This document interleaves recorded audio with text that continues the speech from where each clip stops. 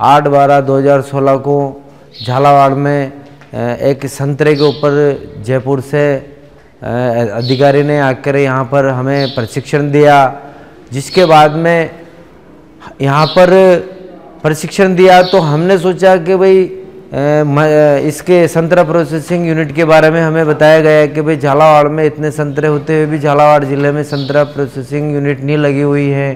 तो मुझे जानकारी दी डिपार्टमेंट के द्वारा कि आप ऐसा कर लो तो मुझे भी लगा कि यार हम ऐसा कर लें।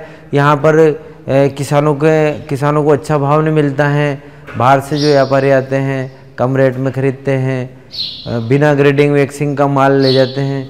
तो मैंने सोचा कि यार मैं क्यों नहीं ये काम कर लूँ? हमारे यहाँ से किसान काफ़ी संख्या में डेली प्लांट पर किसान आ रहे हैं और यहाँ पर ग्रेडिंग, वैक्सिंग करा के बाहर भेज रहे हैं। तो उन लोगों को काफ़ी करीबन सौ से डेढ़ सौ रुपये पर मण के हिसाब से बेनिफिट मिल रहा है। जैसा कि पहले हम लोग क्या करते थे, जो संतरा आता था तो डायरेक्ट उसको तोड़ लेते और हाथ से ग्रेडिंग छटाई करके और मंडियों में या व्यापारी ले जाते थे।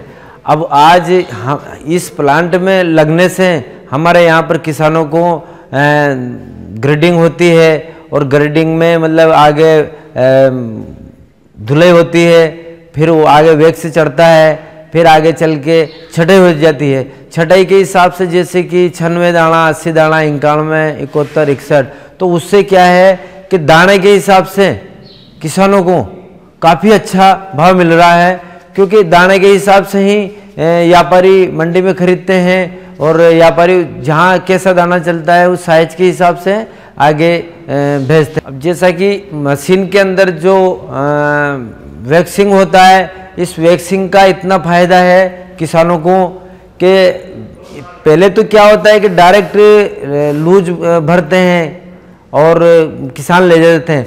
अब वैक्स होने से इसका क्या है कि पंद्रह दिन तक भी ये संतरा लूजपन नहीं आता इसके अंदर और ख़राब होने की स्थिति में नहीं रहता है। वैक्स होने से इसका फिनिशिंग रहेगी, चमक रहती इसके अंदर, और ख़राब भी नहीं होता है ये, काफ़ी दूर तक भी अगर ले जाए तो किसी प्रकार का कोई दिक्कत नहीं आती संतरे के अंदर।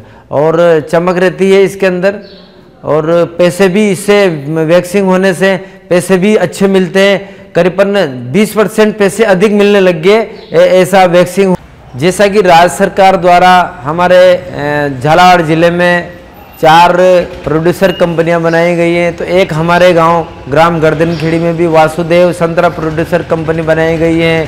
तो यहाँ पर कंपनी द्वारा किसानों को संतरा खरीदेंगे और यहाँ से खरीद के बाहर भेजेंगे देश विदेश में, ताकि यहाँ पर किसानों को इसका ज़्यादा से ज़्यादा लाभ मिल सके।